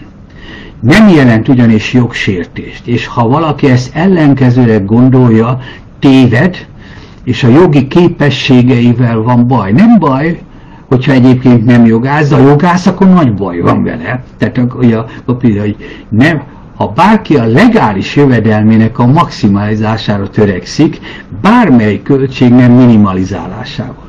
Ez tartalmilag azt jelenti ez, ez, ez a mondat része, hogy ha létrehozok egy vállalkozást, az a jövőben, azt a vállalkozást én a jövőre, hozom, jövőre vonatkozóan hozom létre. Ugye az első pontnál tartunk, ezért a többiről van egy kis kitakarás. Ugye. A jövőre nézve hozom létre. Azt kell megnézem, hogy mennyiért tudom a szolgáltatásomat vagy termékemet a piacra el tudom adni, és ha el tudom adni, mennyiért tudom eladni. És ha, el, ha megvan, hogy el tudom adni, és mennyiért tudom eladni a jövőben, akkor ki kell számítani, hogy mennyiért tudom előállítani. Amikor előállítom, akkor semmi jelentősége nincs annak, hogy az a költség, amire elő tudom állítani, az adó, vagy egy vasanyag, amit a termékemhez fel kell használnom, vagy energia, ami a termék előállításommal föl kell használnom, vagy egy számítógép, hogyha informatikus vagyok, vagy egy írógép, számítógép, és eh, nem tudom, egy kis eh, félrevonuló hely, hogyha ha újságíró vagyok, egy kis műterem vagy műterem sarok a lakásomban, egészében, hogyha festőművész vagyok, teljesen mindegy, az adó is egy költség az én számomra, amit meg kell térítenem. Ha nem tudom megtéríteni, nem szabad a vállalkozásomat működtetni. És ahogy minimalizálom, hogy mi az, ami szükséges, de elégséges egy korszerű energiafelhasználású gépet vásárolok, ugye a részében. Árérték arányban odafigyelek a számítógépre, amit megvettem. E, az elején a lakásom sarkába alakítom ki a festő műhely sarkomat, vagy hát ahol, ahol festeni fogok. Vagy kimegyek a Dunapartra, és ott festek. Ez mindegy. Nincs jelentősége a részében, hogy mit csökkentek vagy megnézem, hogy melyik a legkedvezőbb adózás, mert a bevételemet megterveztem, és ahhoz képest abból nekem költség lesz az adózás jelen. És ha van egy legális adózás jelen, amit 12 éve úgy hívnak, hogy kata, aminek egyébként előnyei és hátrányai is vannak, ezt most nem akarom végigvenni, de hogy ne lennének. E, katával adózok egy évet, akkor az alapvetően nem számít a nyugdíjamban egy munkaviszonyban töltött évnek, hanem csak kevesebbnek. Ha beteg állományban megyek, akkor az átlagos, mondjuk akár a minimálbérhez képest is egy, a, a, a, a kevesebb pénzt kapok ja, a részrendszerbe. A nyugdíjjárulékon vagy egy alacsony jövedelemként számít bele, még a minimálbérnél is kisebb mértékben számít bele. Tehát egy csomó hátrányát vállalom, de a konkrétan, amit nem jövőben fogok majd kapni, és most kell érte fizetni, hanem most nem fél, jövőre nem fogok kapni, de most nem kell érte fizetnem. Ha számomra ez tűnik kedvezőbbnek, akkor ez törvényes. Ezt kínálták föl az én számomra. Sőt, folyamatosan azt mondták, hogy válasszátok minél többen. Mert a 12 év alatt ez a kata 6 millió forintos árbevételig volt alkalmazható. Utána megváltoztatták 9-re, majd fölemelték 12-re a készébe. Tehát folyamatosan azt mondták, hogy minél többen essetek vele abban, hogyha akinek ez a bevétele van, akkor nekem egy biztosan számítható adózók vagytok, utánatok a jövőt tekintve kevesebb nyugdíjárélékot kell majd fizetnem, ja, az egészében, mert sokkal kevesebb szolgálati időt és sokkal kevesebb megszerzett jövedelemnek fogom beszámítani. Tehát az állam jövőbeni kiadása érdekében ez számomra kedvező. Folyamatosan ezt az impulzust kapták. A jogalkotó leírta, hogy mikor alkalmazhatod. Nem volt benne az, hogy rejtett munka viszony egészében, az volt benne, hogy mikor nem rejtett a munkaviszony. Részében. Tehát leírta, hogy azt hiszem az emlékeim szerint, eh, de most nem akarom ebben felsorolni, ott felsorolt 8 tételt. És azt mondta, ha ez jellemző a vállalkozásodra, ebből legalább kettő, tehát nem is kell a nyolcnak, ebből legalább kettő jellemző rád, akkor te már nem rejtett munkaviszonyt végzel, tehát nem sérted meg a jogszabályt, hanem jogszerűen vállalhatod az, hogy a kata adózással származol.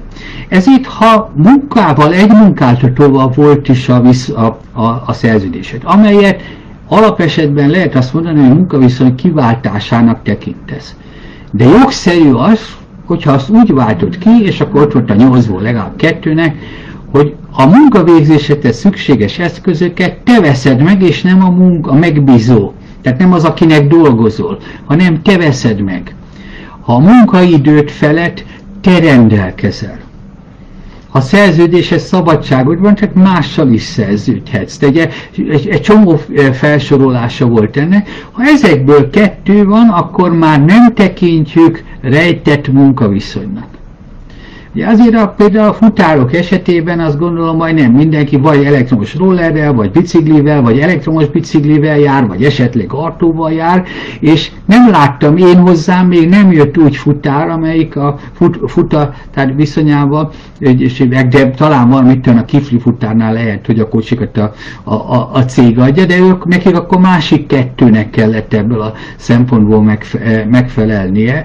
Ugye a, a, a, az egészében. De a döntő többségénél már biztos, hogy a munka eszköze az alapvetően igazság, hogy az, azt ő biztosítja. Tehát a másik hétből még egy van, akkor ez nem visszaérés.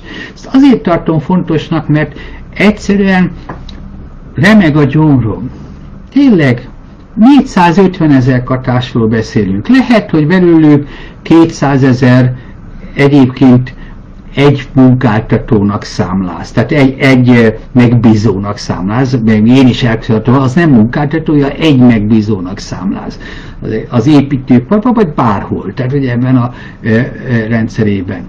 A, és akkor a, még az ellenzéki vezetők is, legyen az bármelyik, most nem sorom fel a hat ellenzéki pártot, szinte még nem hallottam olyat, amelyik ne azt mondta volna, hogy ha voltak benne visszaélések, munkaviszonyszerű, akkor azt az adóhivatal igazat mondtak egyébként, tehát minden számlát egy időben a kiállítás pillanatában lát az adóhivatal, abból készíti el évvégén az adóbevallásomat, és azt is látja, hogy melyik számlákat számolták el költségként, és azt is látja, hogy ha valakinek ugyanahoz a megbízóhoz van kizárólag számlája. Ugye? Akkor rá kell néznie. És ha ránéz és megállapítja, hogy az általa megmondott nyolcból ez mondjuk a munkaviszony irányába hat, de másik három vagy négy azt mondja, hogy az jogszerű, akkor már nem rejtett munkaviszony.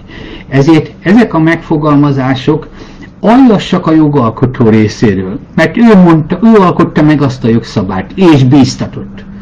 De egyszerűen butaság, és sértő, és bántó, és a jogot rosszul megfogó, megfogó bármely elemző részéről, és bármely ellenzéki politikai párt megszólal részéről, ha azt gondolja, hogy voltak benne visszaérések. Szerintem nem mert ha voltak, ahhoz nagyon komoly jogi, jogi szankciót tartozott. Eddig is.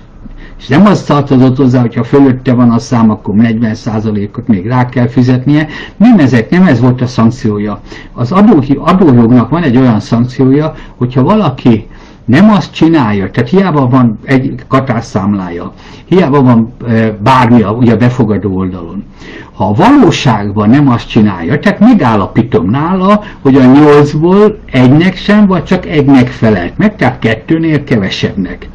Akkor mindegy, hogy minek hívják azt a szerződést, mindegy, hogy mi, milyen formában történt, úgy kell vele szemben eljárni, mintha az a szerződés munkaviszonyból származó szerződés lett volna.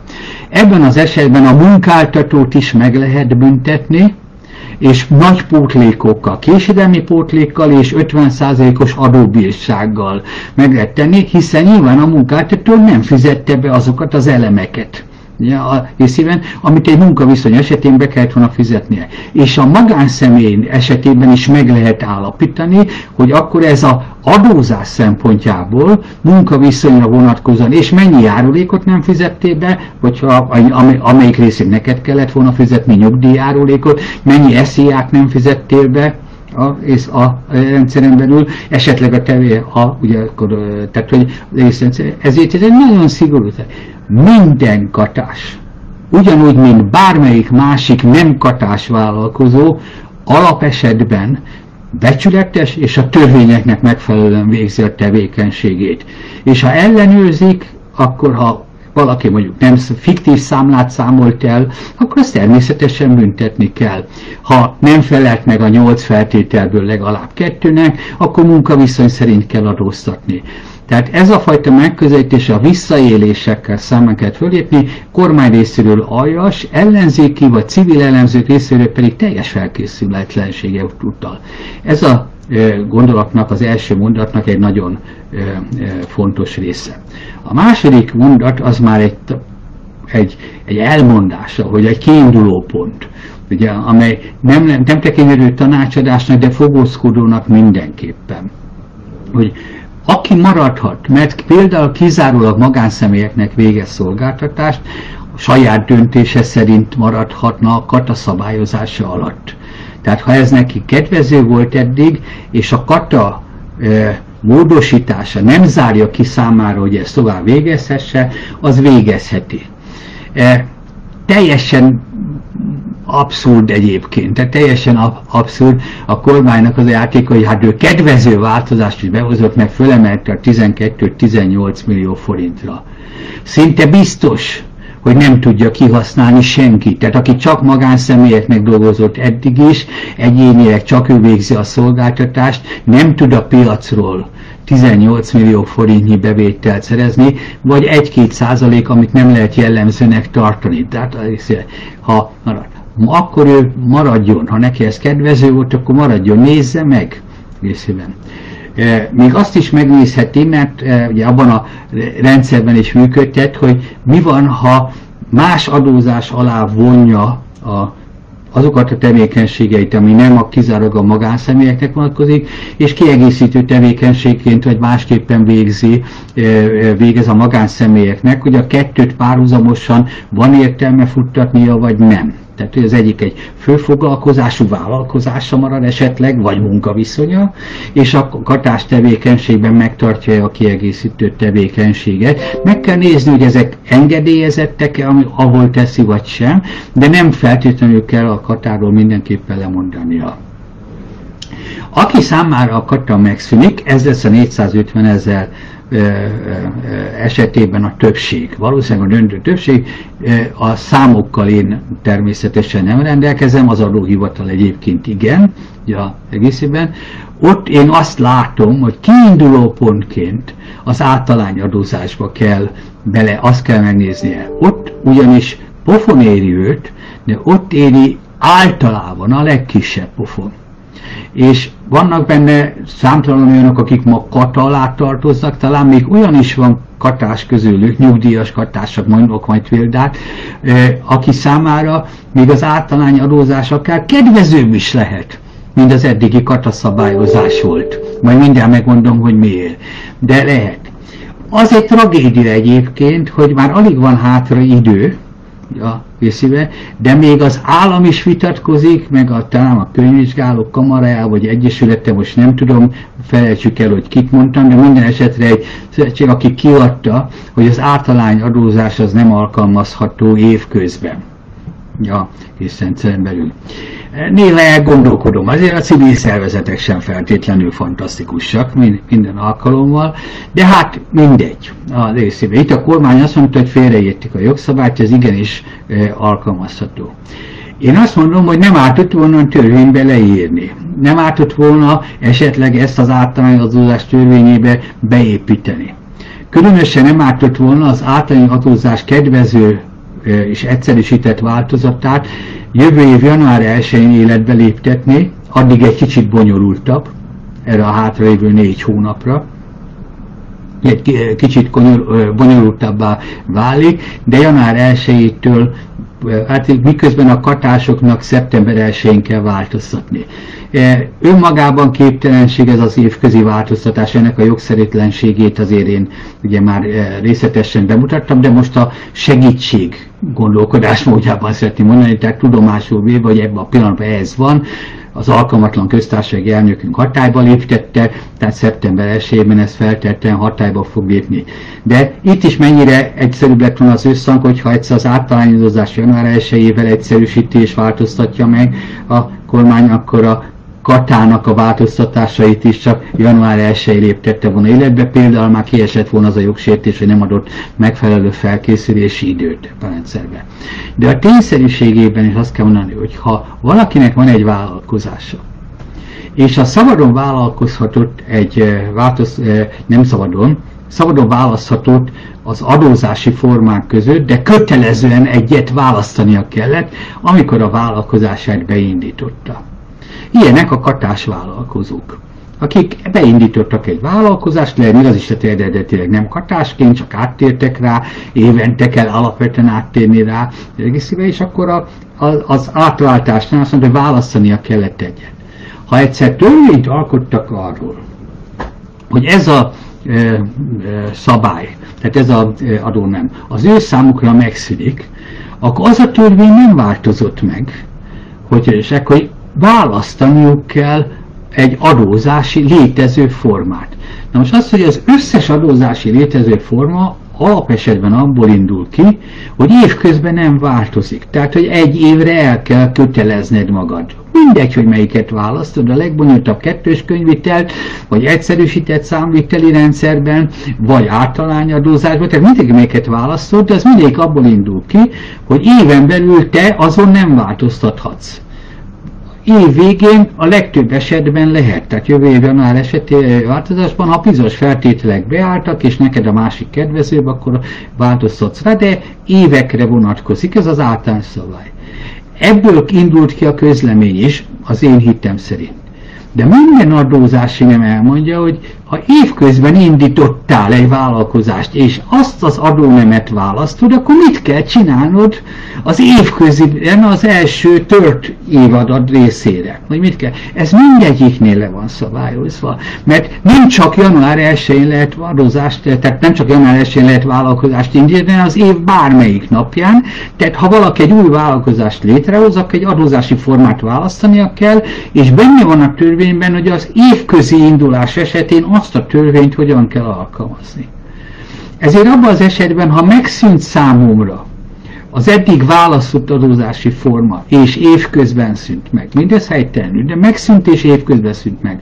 Számomra az analógia szabályai szerint az új választott adórendszer, tehát adószabályozás, bármelyiket választhatom, és azt úgy kell alkalmaznom, mint hogyha most indítanám a vállalkozásomat. Szerencsésebb lenne, ha ez le lenne írva, de a jogból egyenesen következik. Tehát ha nincs leírva, ebben az esetben ugye a kormány válasz nem szakszerű volt, hanem csak az volt, hogy félre értelmezik a jogszabályt, az általános jogszabályát az, azok a szakértők, akik azt mondták és azt adták ki közleményben, hogy azt csak január 1-től lehet választani, tehát valami mást kell csinálni a két időszak között. Ebben az esetben a végeredményt tekintve a kormánynak volt igaza, de ő csak erőből mondta ezt, mert állítom, hogy amit én most elmondtam, az analógia szabály, stb. arról halvány sem volt. Tényleg halványőző sem volt, de választható. Tehát abban szeretnék mindenkit megnyugtatni, részében, hogy át tud térni az általányadózásra. Nem szeretném elmondani, a sok, kicsit bonyolultabb az első négy hónap, de azon azért át lehet őket segíteni. Január 1-től azonban e, háromfajta általányadózás létezik. Hú, de megy az idő háromfajta általányadózás eh, eh, létezik. Az alapesetben 40%-os költségáltalányjal eh, kell számolni, és két kivétel van, amely esetben bizonyos vállalkozási formák választhatják a 80%-os költségáltalányt, és akkor a bevételéknek ugye a 20%-át kell jövedelem, alapjúnak, jövedelem adó alapjuknak tekinteni, a 40% esetén a 60%-ot, az bárki és bármire választhatja hogy érthető legyen a, ez az adózási forma, és van egy nagyon szűk kör, ahol 90%-os a költségártány teljesen logikusan egyébként a kiskereskedelemben, mert a kiskereskedelem egy áréssel, a bevételénk a kiszámlázva, a bevételei oldalán egy áréssel dolgozik, és hát nagyon szerencsés az a kereskedelem, amelyik az árésében 10%-nál nagyobb áréssel dolgozik, és még egyébként fizette az áréséből a munkavállalóknak, meg a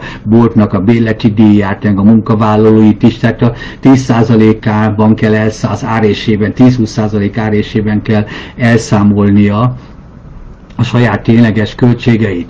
Tehát ott ez egy teljesen logikus döntés, de ez csak erre a kiskereskedelmi része vonatkozik. Ugyanakkor január 1-től például életbe fog lépni, és itt mondtam azt, hogy szűk nyugdíjas vagy nem nyugdíjas, de ilyen nagyon kiegészítő tevékenységben ritkán számlázó e, személy esetében igaz, hogy azt mondja a szabály, hogy a általány adózásban a havi első 120 ezer forint, évre kivetítve egyébként az 1,2 millió forint adómentes. Tehát azok a vidéken vagy nem vidéken dolgozó, de csak szűken, csak mondjuk azok a művészek, akik eh, még fellépnek, de ritkán. És ezért csak nagyon kevés évek eh, eh, számlát kell kiállítaniuk.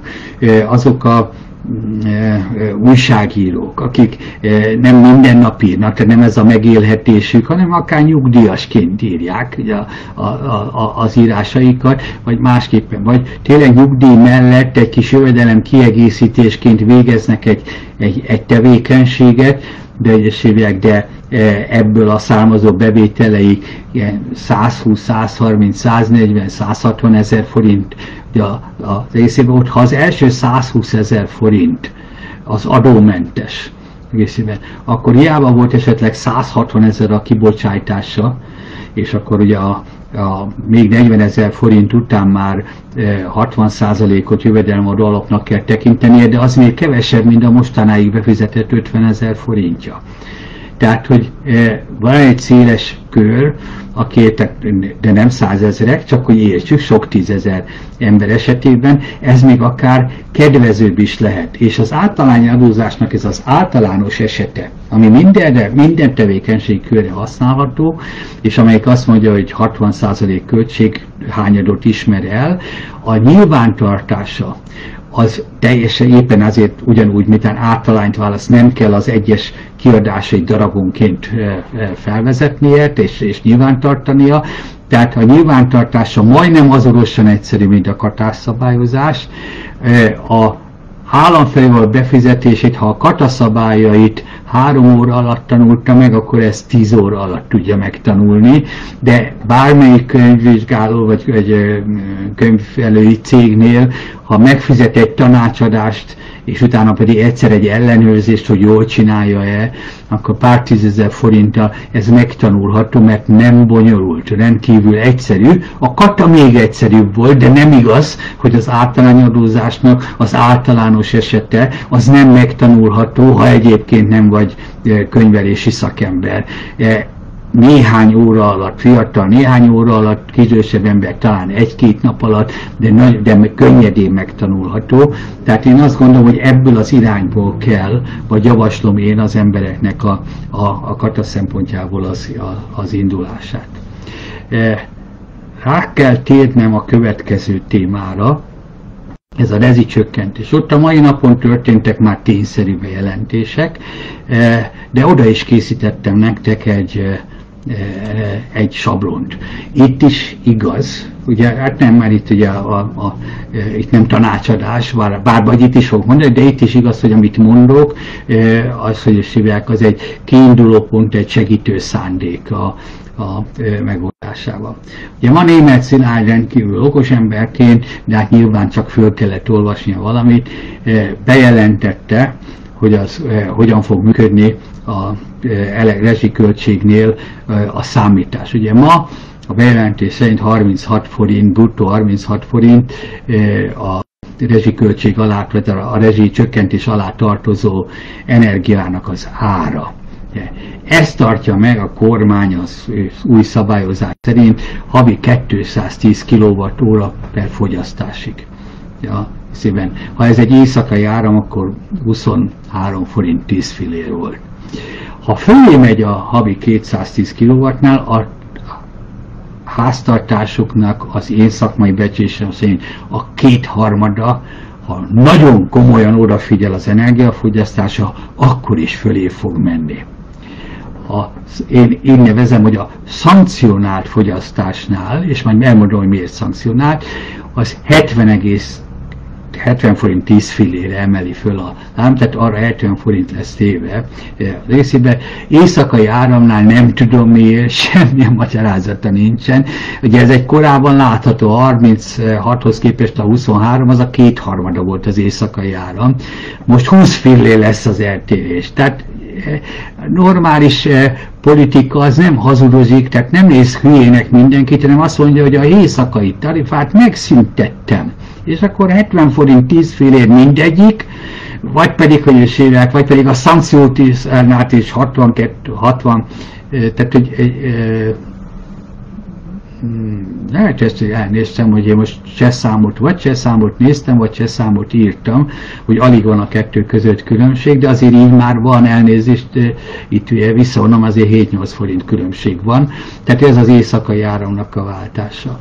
Német Szilárd azt mondta, hogy a piaci ár, amit eh, a túlfogyasztásnál sem kell megfizetni, 268 millió, vagy 268 forint per kilowattára. Német Szilárd nem mond igazat. Ilyen egyszerű. Német Szilárd a kormány közleményt tette közzé, a kormány nem mond igazat. Erre is visszatérek, de talán itt most egy nagyon fontos elemet el szeretnék mondani, egy borzasztóan fontos elemet. Az eredeti elképzelése az volt a kormánynak, hogy a túlfogyasztás az nem 70 forint 10 fillé lesz, hanem a bejelentés szerint 268 forint lesz. De a szakértők, a társadalom a rámutatott arra, és most már olyan széles körben rámutatott arra, hogy ez aljasság, mert ha, ha és amennyiben 268 forint volna a világpiaci ár. A magyar társadalom nem a világpiacon vásárolja az áramot. Ha kell vennie, akkor legfeljebb a 10%-át. De sokszor nem kell vennie. Ha mégis van ez éves elszámolásában, akkor ez 10-15% alatt van. Hanem a 90%-át néha, 95-öt néha a század itthon állítjuk elő. És az itthoni előállítási költsége színben, az, hogy hívják, az nem, hogy nem a 268 forint környékén van, hanem valahol, és az ott odaírtam az én szakértői szakmai becsésemet, 45 és 50 forint között van, ha becsületesen számolja az kormány. Tehát ha kélek kiszámolja, hogy növekedett a paks előállítási költsége, nem sokkal, minimálisan, de a munkabérek pakson is növekedtek. Ha növekednek az előállítási költségek a széntüze, mátrai erőműnél, a széntüzelési erőműveiknél is, mert a bérekkel növekedtek. Tehát ugye, és az általuk felhasznált anyagokkal növekedtek ugye a részében. De ezt lehet számítani a részében. De ha mondjuk az állam azt mondja, hogy én, ha nem is tudok segíteni neked a továbbiakban, a túlfogyasztásban, nem tudok neked segíteni. De nem akarok rajtad keresni. Itt utalok vissza arra a képre, amit mutattam, hogy rám szavaztatok, ne féltsetek minket, csak ti mentek tönkre, mi azon is keresni fogunk. Ez volt az Orbán kormány eredeti terve az elektromos áramnál, hogy iszonyatosan sokat meg fog, több száz, inkább egy-két ezer milliárdot fog keresni azon, hogy ráterheli az emberekre az általa kitalált világpiaci árat, ami 268 forint, mondja német Szilárd. Ja, az egész rendszerére. De rámutattak az emberek, hogy hát nem, hát ebben ha, ha te ennyire megnöveled a nettó árat, ugye, akkor meg, meg ötszörözöd az elektromos áram esetében, akkor az áfa bevételed is megötszöröződik, pedig avval, amikor elfogadtad a 2022-es költségvetést, nem számolták 2021 tavaszán. Ugye, ezért így szabad felhasználású pénzeszközt akarsz eltenni, amit el akarsz lopni. Már csak azért is, mert ki, kivetettél egy extra profitadót. Létrehozták két alapot, ahol rámutattál, hogy mennyi pénzre van szükséged ahhoz, hogy föntartsd a rezsicsökkentést. És abba befizettetted a pénzt, ami ennek az ellenértéke. Miért kell akkor fülemelned? Hát kétszer akarod megfizettetni? Részében. Ezért a másodikat, amit emelni akarsz, az csak lopni akarsz. Semmi más. Az egyedül csak el akarod lopni. Ráadásul hazugság. Eh, hazugság, ami a gázra is fog vonatkozni, amit most mondtam, de utána kell nézni. Németországban, Ausztriában valóban a bekerülési ár, ár eh, környékén van az energia meg, eh, meghatározva. Most nem térek ki rá, hogy nincs olyan ország, amelyik csak nem annak nevezi, hanem támogatásnak nevezi, tehát nem rezsicsökkentésnek nevezi, mint amit ugye mond Orbán Viktor, hogy ez egyedül egész Európai Unióban nálunk van ilyen, és csak mi védjük meg az állampolgárainkat. Egyetlen egy olyan európai országot nem tud mondani Orbán Viktor és csapata, ahol más jogcímen ne kapnának az emberek legalább akkor a támogatást, a megnövekedett ára, mint amennyit a Magyar, Magyarország a rezsicsökkentésben fizetett. Csak más jogcímen kapják meg. Bérkiegészítésként, egyszeri támogatásként, hogy ameddig ez fönnáll. Tehát különböző jogcímen, de mindenhol van támogatás, mindegyik mondhatná rá azt, hogy ő ezt nevezi rezsicsökkentésnek az egész rendszeren belül, csak mindegyik ad, ad, ad, ad ilyen támogatást. De a látható publikus ár az mutatja, hogy átlagosan mennyiért szerzik be a piacon.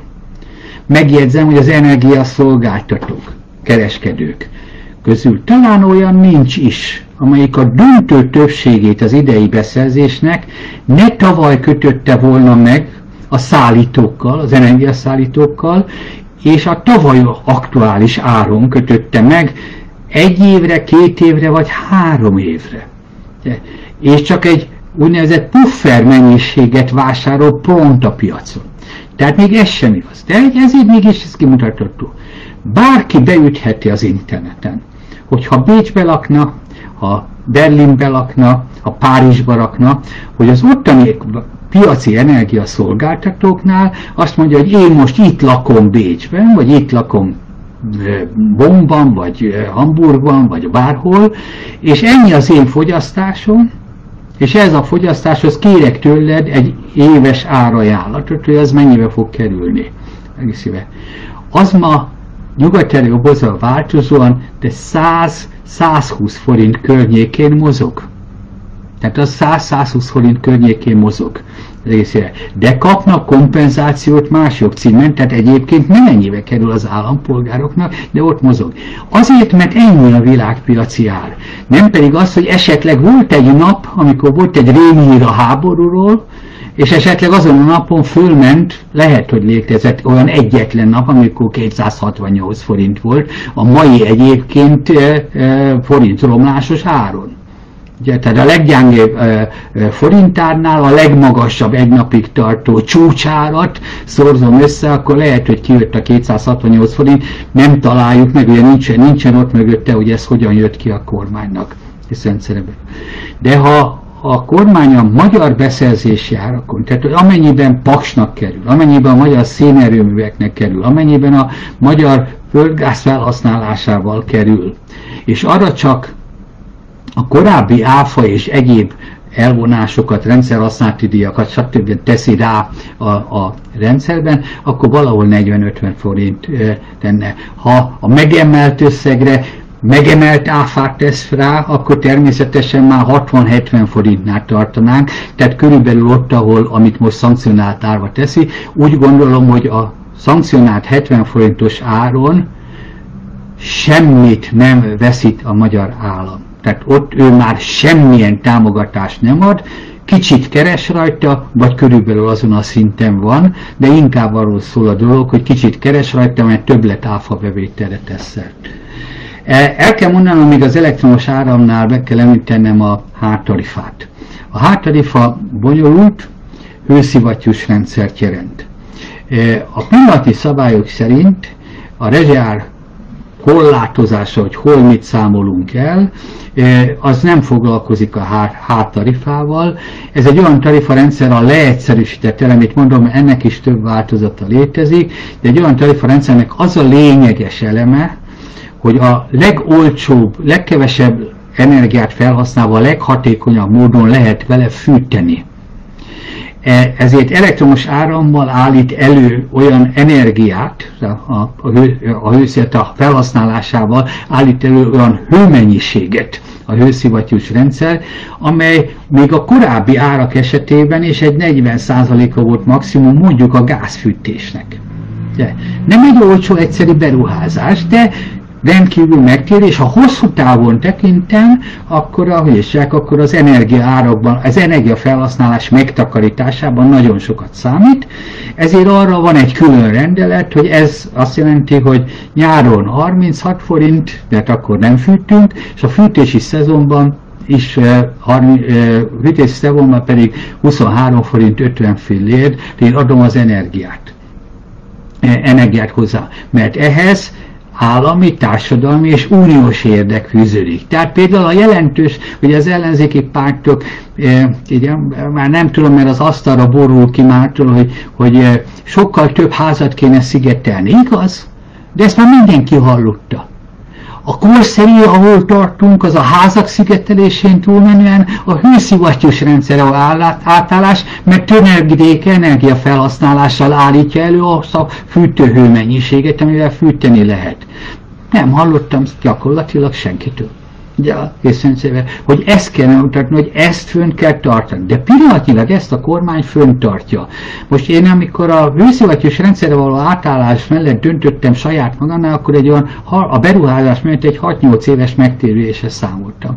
Ha nem szám, nem nyúlnak hozzá a hőszivattyús rendszerhez, amely segíteni azt, hogy fogd vissza 15%-kal az egész Európai Unióban a gázfelhasználásodat hiszen ez a fűtést és a fűtésnél használják leginkább a gázt, és a fűtésnél használja ki, hogy nem kell a gáz hozzá. Akkor egy 6-8 éves megtéréssel számoltam, most ez egy évre rövidül, tehát ugye a rendszerbe. De jó az Európai Uniónak, jó a magyar társadalomnak, tehát egészében, úgyhogy ezen el kell gondolkodni. De megint miért nem tudok tanácsot adni. Azért nem, mert nem tudom azt mondani, hogy ha megteheted, ha olyan nagy családi házba érsz, stb., akkor, és van egy kis megtakarítás, akkor álljál rá hátarifával, hőszivattyús rendszerre, mert nem fog érinteni a, az energia, a fűtésednek a, a, az emelkedése, és egy-két éven belül megtérül a, megtérül a számodra. Ezt nem tudom, mert mi van, ha holnap megváltoztatja az Orbáni kormány. Yeah. Ezért nem lehet ezekben ma tanácsot adni, mert nem számítható az Orbáni kormánynak a, a, a reakciója, a jogalkotása, mert folyamatosan jogsértő jogalkotásban van. Tehát e, ezt, hogy hívják, ugye mindenképpen el akartam mondani. Itt azért azt mondom, hogy a hőszivattyús rendszeren azért kiinduláspontból ott, akik tudnak, akik számára ez, ez egy elérhető rendszer, tehát tud egyszerű beruházást végrehajtani, meg egy társasházak közül csak a nagyon kicsi társasház tud, azt gondolom, mert egyébként nagyon bonyolult volna az áthárítása, meg az egésznek a számítása a hőszivattyús rendszerre, de melegvíz előállításnál már például nem annyira bonyolult, azt, azt jobban meg lehet tenni, vannak hőszivattyús bojlerek, stb. egyszeri beruházásra beállíthatóak, és akkor nem a, a gázkazánra kapcsolom a szivattyúrendszert, ami a lakásokba vissza az, a, a melegvizet, hanem a hőszivattyús rendszerre állítom át. Tehát, hogy ezen a területen is van fogózkodáspont. Természetesen a nyilázárok területén is van. Természetesen az is igaz, hogyha egy kicsit átalakítom a, a gondolkodásmódomat, még esetleg egy villanyszerőt is kihívok, és bár ugyan nem három fázisom van, ahol az egyiket arra használom föl, hogy ami, ahol, amit mindenképpen használni akarok, akkor is, hogyha nagy problémám van az egésznek a kifizetésével, az egy fázist is meg lehet két, meg lehet osztani az óra után két biztosítékrendszerre, és ott szétválasztani valamilyen szinten, hogy, hogy a nagy fogyasztókat, ha nem muszáj, akkor ne kapcsolja be a, a rendszer. Át lehet állni, lehet kérni a, az előfizetéses rendszert, hogy az, az fizet, azt mondja, olyan órát szereljenek föl, amire én előre befizettem, hogy ennyi pénzem van, és akkor nem tud meglepni a villanyóra számla, és akkor rájövök, hogy az én fogyasztásom mondjuk az állam által kitalált 210 kW a 20. napon elfogyott, ugye már azt fizette, akkor rá tudok fizetni, de onnantól már nagyon figyelek, mert tudom, hogy a következő drágább lesz. E, tehát e, vannak ezen a területen is azért mondom, ami, ami lehet gondolkodni. Nem tudom, hogy befejeztem azt a gondolati sort, ez így nagyon fontos, hogy, hogy a társadalmi nyomás alakította ki, hogy nem mertem ma már bevezetni, mert túl sok ember figyelmét hívták föl, hogy nem kerül annyiba az elektromos áram, ezért csak a, a közelít vezetett be az a, a mai tételeknél, természetesen azt hazudva, hogy ez egy ajándék a, a társadalom felé, de azt az összeget vezette be, amiben talán így nem lehet olyan olyan jelentős mértékben beleköt, belekötni. A gáz esetében, ugye azért föl, fölgyorsítom, azt kell mondani, hogy olyan mértékben megdrágult, hogy ott azt kell megnézni, hogy milyen alternatív fűtési rendszeret tudok átállni, mert nyilvánvalóan még a szankcionált, tehát a gázkazán helyett létezik elektromos kazán is. Az is ugyanúgy elő tudja állítani a fűtéshez szükséges melegvizet minden további nélkül, ez létezik. Ott megduplázódott az ár, de a megdupláz, ugye mert akkor egészen biztosan fölé a 210 kW-nak, ha a fűtésre is használja, megduplázódott az ár, de az is valószínűleg a fele vagy harmadra, mint amennyi a gázzal, ha túllépem. Ugye egészen És ott is eh, kialakítható az akár az a rendszer is, hogy van egy elektromos kazánom is, és eh, van egy gázkazánom is, és elhasználom esetleg a kedvezményes eh, gázt az első 144 köbméterre, és utána átkapcsolok elektromos fűtésre, mert a többletfogyasztás esetén eh, szerintem fél év alatt megtérül egy elektromos kazán párhuzamos beállításának az ára, ha valakinek ugye nem egy 5 vagy 15 köbméterre van többletfogyasztása, hanem mondjuk kétszer vagy háromszor annyit fogyaszt, eh, mert egy nagy családházat kell fűtenie. Tehát léteznek megoldások, ezeket is igyekszem majd azért jobban eh, kifejteni. Egy pillanat türelmet kérek.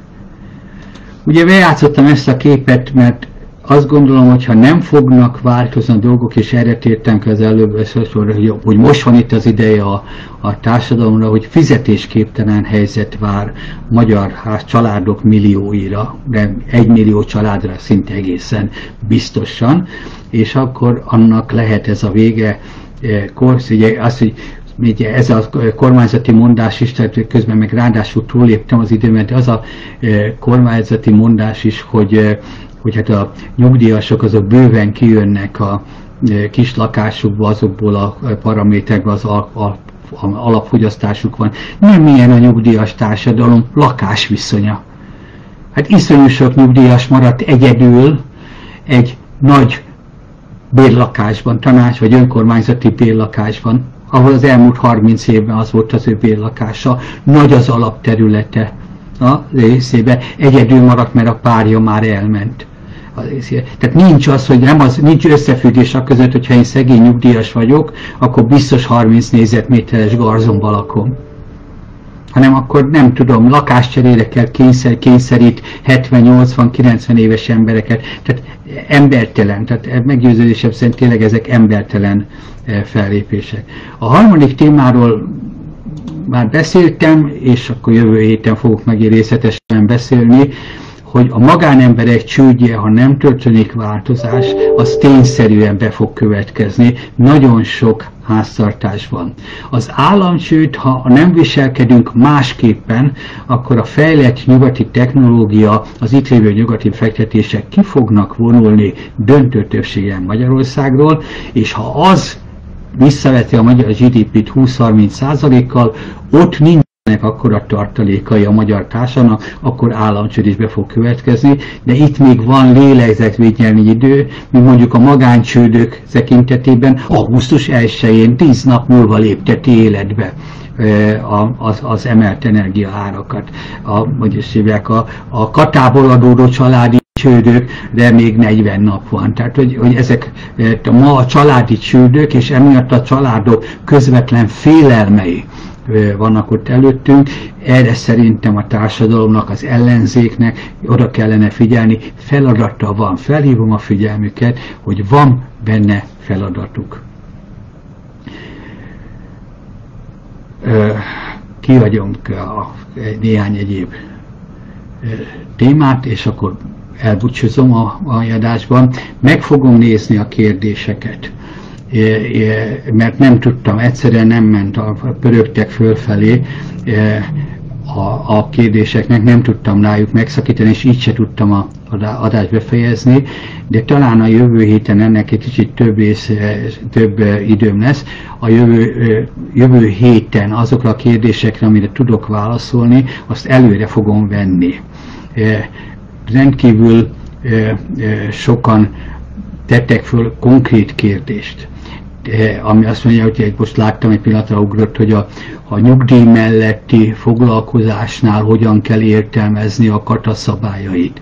Konkrétakra nem fogok tudni válaszolni, ezt erőre el, el kell mondanom, a részében nem fogok tudni válaszolni, mert ezt nem tehetem meg. Tehát egy az egy adótanácsadás. Ráadásul meg sem, tértek, meg sem jelentek a részletszabályok, tehát nincsen kint az a részletszabályozás, hogy ebben az esetben ez így fog történni.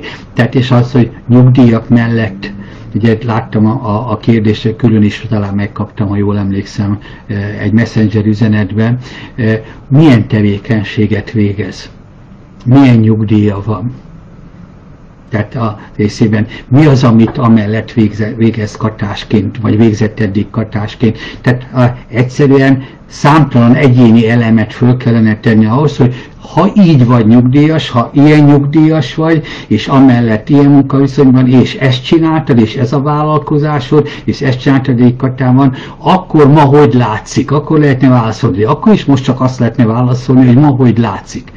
Hát tessék érteni, ma reggel a bejelentette, eh, hogy is hívják, eh, német Szilárd, a kormány mondjuk a túlfogyasztás az energiában nem a világpiaci általa hazudott mondjuk 8-szoros eh, áron fogja, vagy 7-szeres áron fogja számolni, hanem csak kétszeres áron, amely egyébként konvergál a beszerzési árával ugye a részrendszerben, amit egyébként követelni kellene a gáznál is, hogy a gáz esetében is ne világpiaci áról beszélgessünk, hanem beszerzési áról. És olyan beszerzési áról, amelyen nem nyerészkedik a magyar állam. Ilyennek kellene tüntetést tartani, ez ebbe bukott bele a taxisblokád idején, az akkori Antal Bolgány, mármint úgy bukott bele, hogy kénytelen volt engedni, mert ezzel szemben nem lehet érvelni, hogy nyerészkedek az állampolgárok bajain keresztül. De ma jelentette be tegnap, ha válaszoltam volna a kérdésre, hogy mi van a nyugdíj melletti rendszerben, egészen más elektromos energia árakról kellett volna beszélni, nem mondjuk nem, ugye ott a Katáról kérdezett elnézést, tehát nem pontos a kérdés. Ha tegnap kérdeztek volna az elektromos áramról, akkor azt kellett volna mondanom, hogy a bekerülési ár hol van, azt kéne követelni, de hát a kormány világpiaci árat akar bejelzni. Úgy készültem az adásra, hogy azt fogom mutatni, hogy a világpiaci átlagából 100-120 forint jön neki, és nem pedig 300, tehát nem igaz, csak maximum háromszorosára szabad fölemelni, de ma már arról szólt a dolog, hogy nem meghátrált a kormány. Tehát annyira változnak ezek a szabályok a következő napokban, hogy ma konkrét kérdésekre nem fogok tudni válaszolni, valószínűleg a jövő héten sem. Ha van olyan, amikkel mégis csak fog, tudok, akkor válaszolni.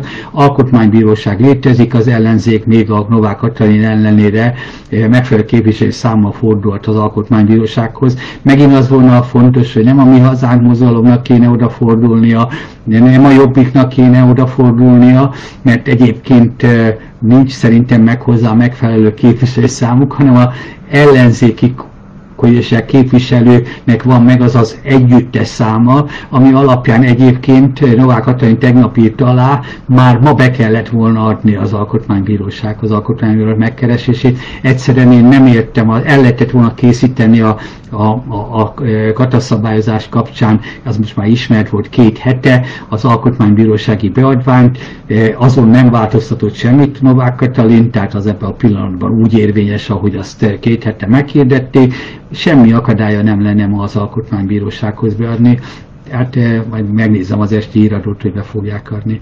Tehát a jövő héten azokra a kérdésekre, amelyek nem konkrét, nem egyéni azózás, eh, arra megpróbálok válaszolni. Eh, ez a záró képernyőt, ezt azért teszem, hogyha az előadásom alapján érdemesnek tartjátok, tartja, ki hogy szereti ezt jobban hallgatni, a magyar nyelv szép, tegezni is lehet, magázni is lehet, és még nem tette meg az a oldalkövetési gombjára a rákattint, akkor mindig, minden bejelentkezésen, minden ö, ö, információadásomról legalábbis értesítést fog kapni.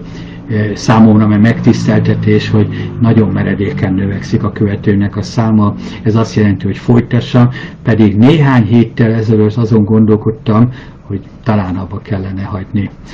Köszönöm, hogy bíztok bennem, szép hétvégét kívánok mindenkinek, és elnézést, hogy 10 perccel, 10 perccel túlléptem a, a, az adásidőt, a meghat, erről meghatározott adásidőmet. További szép estét kívánok nektek, és vigyázzatok magatokra.